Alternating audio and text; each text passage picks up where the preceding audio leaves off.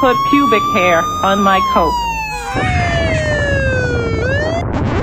Oh my god, I am like so fucking nervous about this test. You have no fucking idea. Personally, I love tests. Brad came over to study last night, but you know how that went. I can't wait to do very well on this test. My fucking mom told me that if I don't pass this test, she's taking away my dignity. My mom said she's gonna kill me like she killed my little brother if I don't pass this test. Well, you know, like for me personally, it's like I can read the text, but it's like I don't retain the information in it, if that makes any sense. Um, I can't believe you just said that, but I'll agree with it.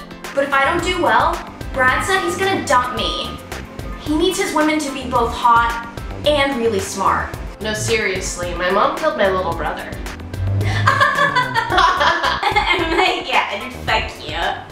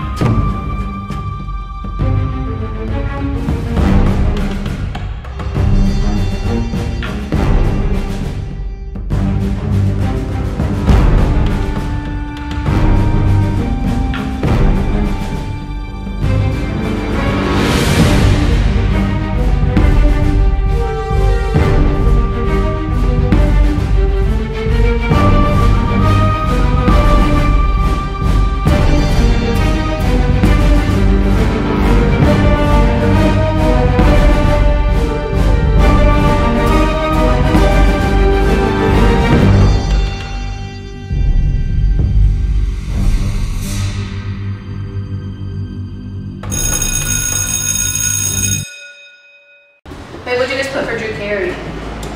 But maybe. Me too. Good. I just, I didn't know. Is it Price is Right Drew Carey or Drew Carey Show Drew Carey? Yeah, like Cleveland Rocks or... I said yes. Hey uh, oh.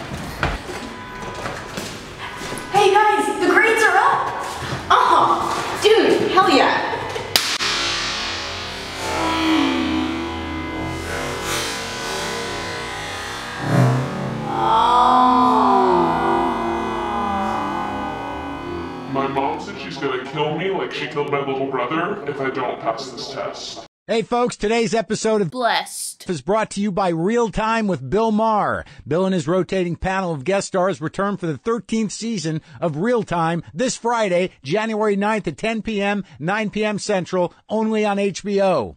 Dig that.